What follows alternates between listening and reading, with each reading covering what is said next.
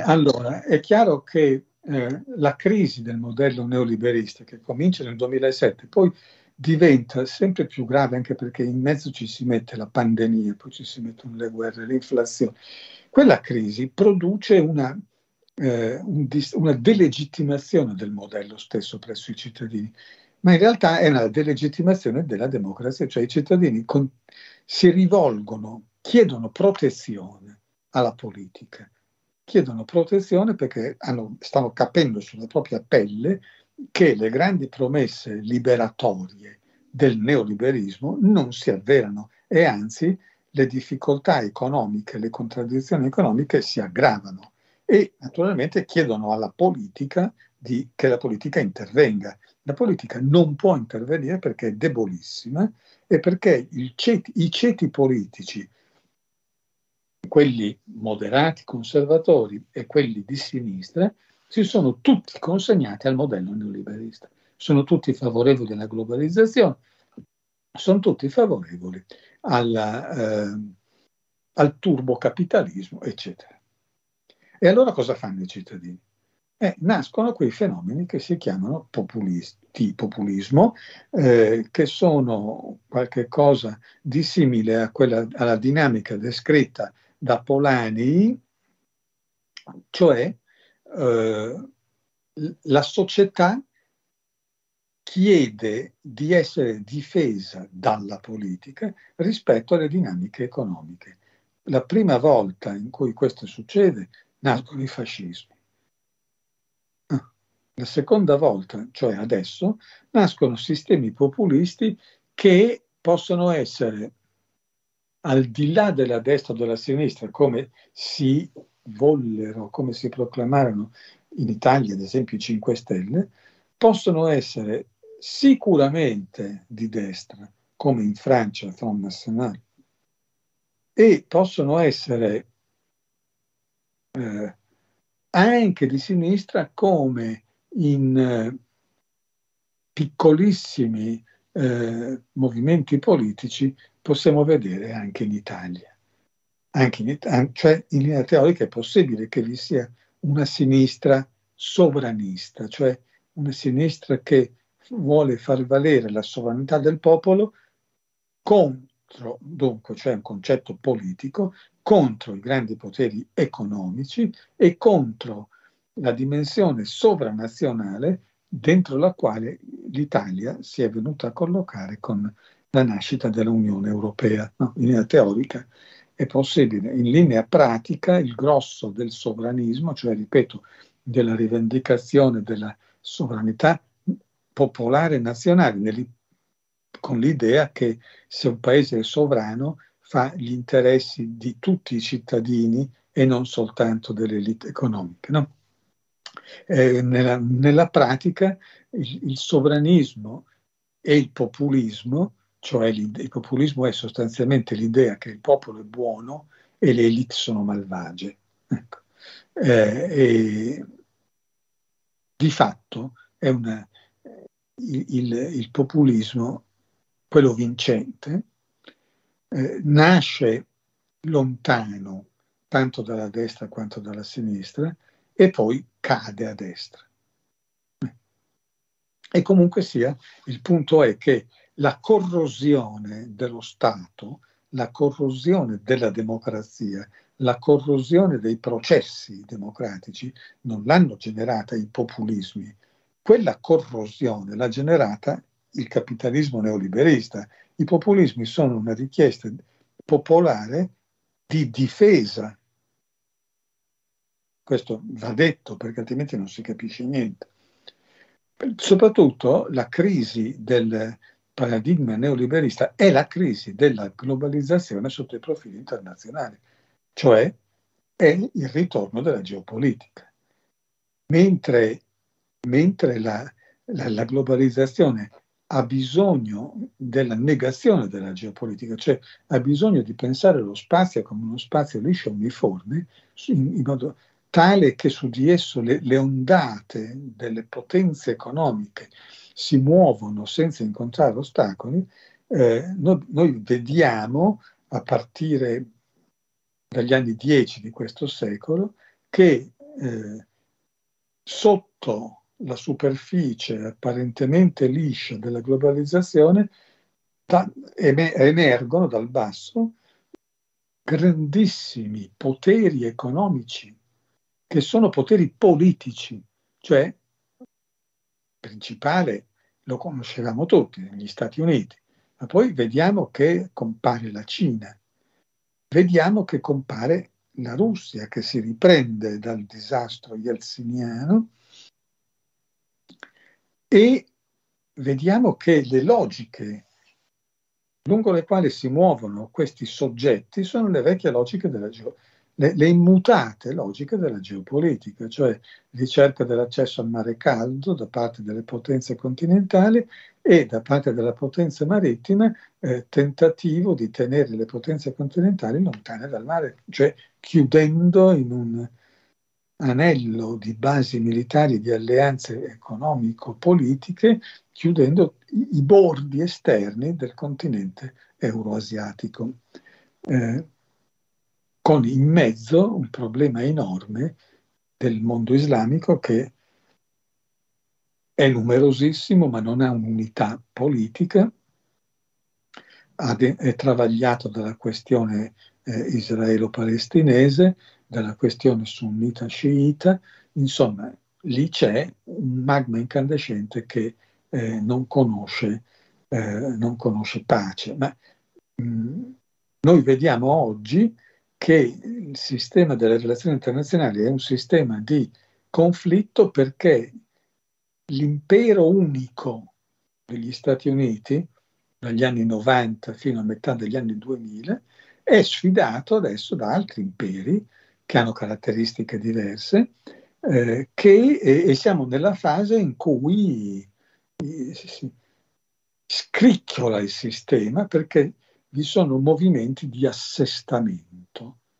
che se vanno bene producono assestamento, se vanno male producono terremoto, che è esattamente mh, la nostra fase. I politologi parlano di trappola di Tucidide, cioè di quel meccanismo per cui un impero potente in, eh, vede nascere al proprio fianco un impero meno potente ma in, pre- presumibilmente in crescita, in, tendente a diventare un potere sfidante, mentre l'impero potente è, è, è statico, non cresce più. E allora ha la tentazione di fare una guerra preventiva contro quello. Ovviamente quello potente e statico sarebbero gli Stati Uniti, quello po' meno potente ma molto dinamico sarebbe la Cina, poi con la complicazione che non c'è solo la Cina nel mondo, ma c'è la Russia che è molto diversa e che ha mire diverse, però ce le ha. Ehm, e poi c'è l'India e poi c'è tutta una serie di potenze regionali molto dinamiche, dal Brasile alla Turchia, insomma, eh, vi sono l'Iran, vi sono molti movimenti che non si vedevano durante la fase duale delle relazioni internazionali, cioè al tempo della guerra fredda est-ovest, in cui la geopolitica non c'era perché c'erano soltanto due, fro- due potenze mondiali che si fronteggiavano e basta, e non c'era neanche questo grande movimento al tempo del potere della unica iperpotenza, cioè della potenza americana che aveva vinto la guerra fredda, ma che come tutti sanno, non ha saputo, non ha saputo gestire la propria vittoria con un disegno di pace. No? E quindi adesso stiamo vivendo una doppia crisi, la crisi del neoliberismo su due fronti, sul fronte interno, eh, e lo vediamo dal, dal fatto che vi è un trend di eh, conservazione o addirittura di reazione nel voto popolare, cioè un trend di eh, rabbiosa contestazione del progressismo ritenuto eh, corresponsabile dei disastri economici. ritenuto non a torto perché in effetti tutte le forze progressiste si erano tutte contaminate con il neoliberismo. E sotto, sotto il profilo internazionale vediamo un ritorno della politica, della, della vecchia grande politica, della politica di potenza egemonica e dei conflitti, quello che prima della prima guerra mondiale accadeva in Europa come politica di potenza nel, nel concerto delle potenze fra gli stati, adesso si, si, dà su scala globale nel concerto delle potenze che sono eh, di scala continentale, ecco, di, di, di, entità continentale. Che cosa è in corso? Eh, è in corso il fatto che indietro non si torna, per cui alla, alla condizione della monopotenza monopolistica non si torna, bisogna pens- sperare che si vada verso una configurazione pluralistica della scena internazionale, di riconosciuto pluralismo, cioè che gli Stati Uniti eh, accettino il fatto di non essere l'unica grande potenza al mondo, eh, non si torna verso l'universalismo planetario dell'ONU, cioè verso l'universalismo giuridico che è il grande sconfitto. In fondo l'universalismo economico è solo parzialmente sconfitto, nel senso che le sanzioni hanno interrotto in parte il flusso economico mondiale, ma, ma, ma certo non del tutto, eh, mentre l'universalismo giuridico è sostanzialmente scomparso. Nelle politiche interne vi è un, un trend di eh, ricerca di stabilità attraverso il conflitto. Ora, la stabilità attraverso il conflitto è un concetto di destra. Si stabilizza un ordine trovando un nemico, che è più o meno quello che in modi diversi, con intensità diversa, sta accadendo nei paesi dell'Occidente, travagliati da guerre culturali interne di cui la cancel culture è una delle forme, eh, travagliati da guerre culturali interne in cui la, pare che la prevalenza, almeno numerica a livello elettorale, vada alla parte, chiamiamola di destra, eh, ma attenzione, non, so, non, è più una vecchia destra legge e ordine, eh? Eh, è una destra che ha continuo bisogno del nemico, c'è una destra che nasce dalla mobilitazione generata dal capitalismo, nasce dalle contraddizioni di quella mobilitazione, ma non dà soluzione. Non dà soluzione. Viene votata da ceti medio-bassi che sono alla ricerca di stabilità, ma non l'avranno, sia perché quella destra non ha nessuna intenzione di cambiare il paradigma economico dominante, ovviamente, sia perché le, le risorse simboliche che adopera e deve adoperare per risarcire in qualche modo i cittadini del fatto che non li può risarcire economicamente, ma li può risarcire solo simbolicamente, bene, le, le risorse simboliche che adopera sono tutte risorse simboliche polemico-aggressive, no? Eh, tu stai male per colpa di allora, per colpa di eh, i rave party, l'utero in affitto, eh, i migranti, tutto, tutto, quello che di volta in volta eh, si può individuare come causa di disagio.